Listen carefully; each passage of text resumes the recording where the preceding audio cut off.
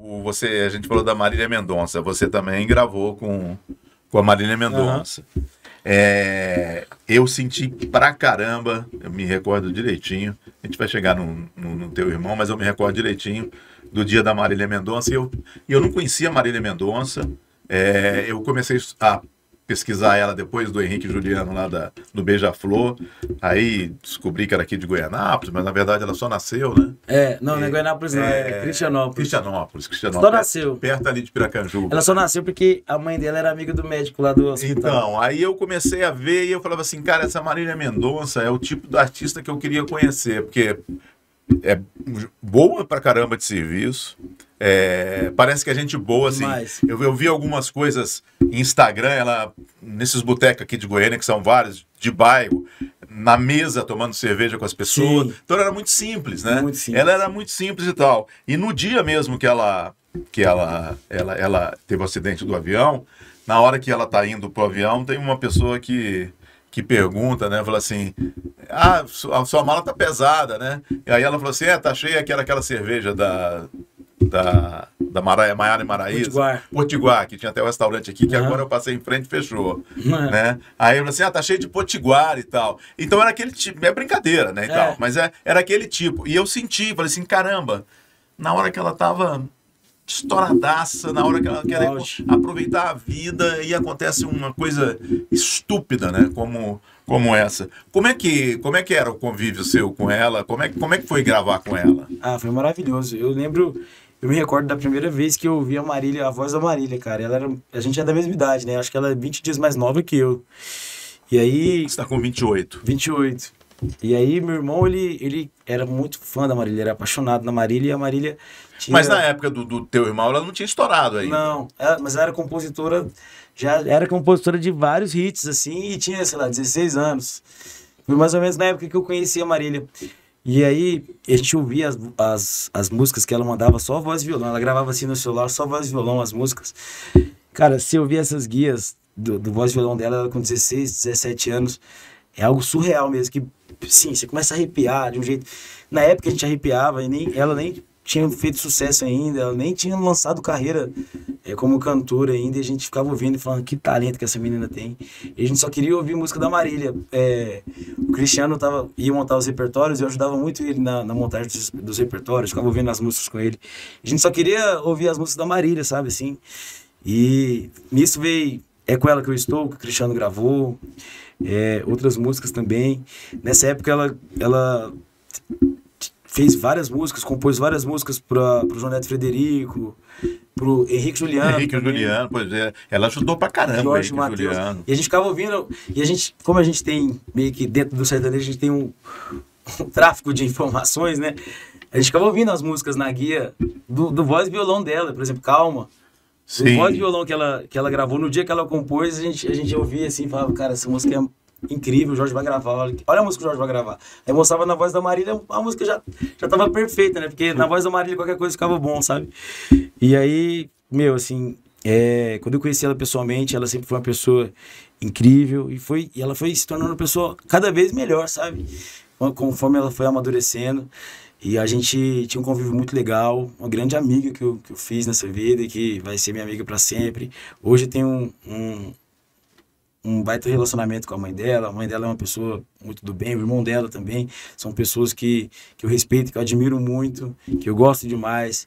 O Murilo também. O- Eu achei muito legal a atitude do Murilo. O Murilo nunca explorou nada. Nada, cara. O Ele nem Murilo gosta sempre de na falar. dele, Ele- sabe? Fazendo a carreira dele. Exatamente, pronto, ele faz a história dele. sabe? Exatamente, assim assim como eu, a gente até conversou já a respeito disso.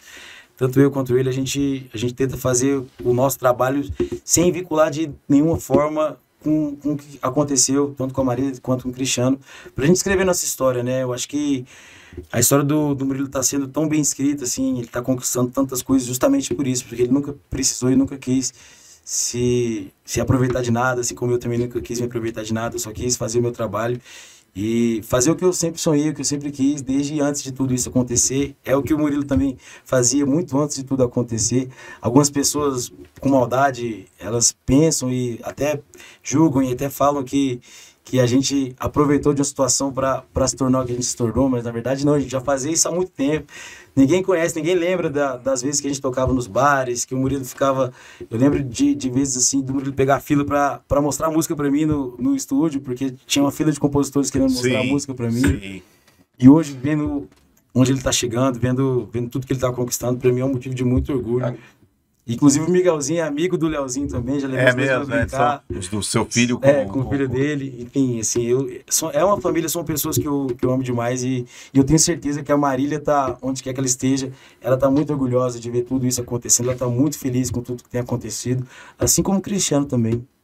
Agora, é, uma coisa que eu tenho muita curiosidade é como é que esse pessoal que, por exemplo, a, a Marília, eu acho que o Thierry também, ele era só compositor, uhum. vendia as composições e depois começou a cantar. Como é que esse pessoal sai disso para virar o cantor, entendeu? Porque, por exemplo, você falou que escutava a Marília e já estava perfeito na voz dela, as músicas que ela queria vender antes, né? Sim. Por, porque eu fico imaginando, pô, na minha cabeça, todo cara que vende as composições, ele queria estar tá lá sendo o cara que está comprando as composições, às vezes. É. Como é que é essa transição? Como é que é isso? Eu imagino. Mas, no caso do Thierry, ele já participou de bandas lá de, de música baiana e tudo mais.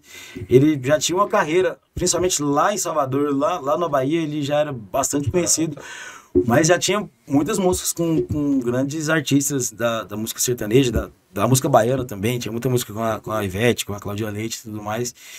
E aí, eu acho que foi em 2015 também, 2016, que ele, que ele começou a despontar, 2017, que ele começou a despontar no cenário musical como cantor em todo o Brasil, né? Mas lá no, no Nordeste o povo já conhecia ele. A Marília é um caso totalmente diferente, cara. Ela não sabia se ela, se ela queria ser cantora. Ela não sabia? Não. Tanto é que é, foi, foi, uma, foi uma luta, todo mundo tentando convencer ela. É, alguns dos empresários também não, não, não apoiavam, assim, porque eles, eles ouviam bastante as músicas da Marília e queria queria muito a Marília continuando compondo do jeito que ela compunha, porque ela era, tipo, surreal, ela era, ela era a melhor do Brasil com apenas 15, 16 anos Sim. de idade, entendeu? Sim. Ela já era a melhor do Brasil, então é, foi, foi tipo um desafio, né? Será que, será que depois, será que se a gente lançar a carreira dela, ela vai manter o foco? Será que vai dar certo? Será que ela vai estourar e tudo mais? Mas foi muito, foi muito natural, assim. O primeiro projeto que ela lançou, que foi aquele projeto que ela tá sentada na, numa casa, assim, uhum. na, na, sala de casa, assim, cantando com voz e violão, que é o projeto que tem tem cinco músicas, se eu não me engano. Esse projeto já estourou demais no Brasil inteiro. Ela já começou, ela começou a fazer sucesso lá no Nordeste e veio descendo, né? O, o sucesso da Maria ele foi um pouco ao contrário do que acontece no, no sertanejo é, geralmente.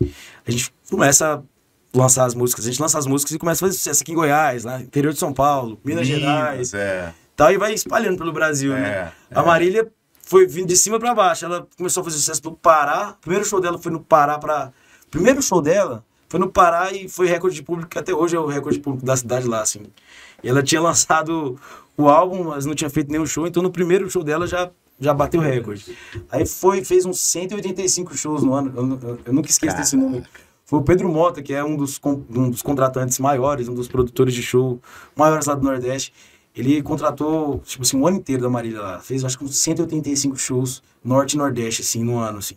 Aí, de, da, dali pra frente, ela foi só descendo e atingiu lugares que o sertanejo não atingia até então. Naquela, até, até então, assim, 2016, a gente não chegava tão fácil no Rio de Janeiro do jeito que a Marília chegou. A gente não chegava tão fácil no Nordeste do jeito que a Marília chegou. Ela chegou arrebentando tudo, sabe? Então ela foi um, um grande fenômeno, assim. Eu acho que ela tá. Ela é com certeza a maior artista é, mulher que, que a gente tem é, na, na, nossa é, música sertaneja. Com certeza. É, eu concordo com você. Ela, ela, ela para mim, é uma, da, uma das maiores artistas de todos os tempos da música brasileira. Por exemplo. Em tão pouco tempo ela fez esse o estrago todo, sabe? Ela. Uau! Sabe? É um negócio impressionante. Ela tem umas estatísticas, cara, que que são estatísticas de, de artistas internacionais, que aí eles, eles fazem sucesso no mundo inteiro, né? E aí, tipo, tem números de artistas internacionais que, com, com o Brasil, ela tem números de pessoas que fazem sucesso em 200 países. Por exemplo, o João Vitor tá aqui, meu irmão, ele, ele é muito fã da Marília, ele sabe dessas estatísticas todas. Acho que a Marília é a artista no YouTube que tem mais vídeos com mais de 100 milhões de, de views, né? Do mundo. Do mundo. Do mundo. Tem 108 108 músicas com mais de 100 milhões. 108 com Isso. mais de 100 Com milhões. mais de 100 milhões. Isso porque mais do não- que Taylor Swift, mais do que. Não, e gente que teve carreira de não sei quanto, 30 anos, que não Exatamente. isso. né? Exatamente. Então, assim, a Marília é- Ela morreu com 25, né? tem dois anos, né? Foi com 26. 26. É. 26. Sim, é, morreu muito nova, cara. Mas eu acho que.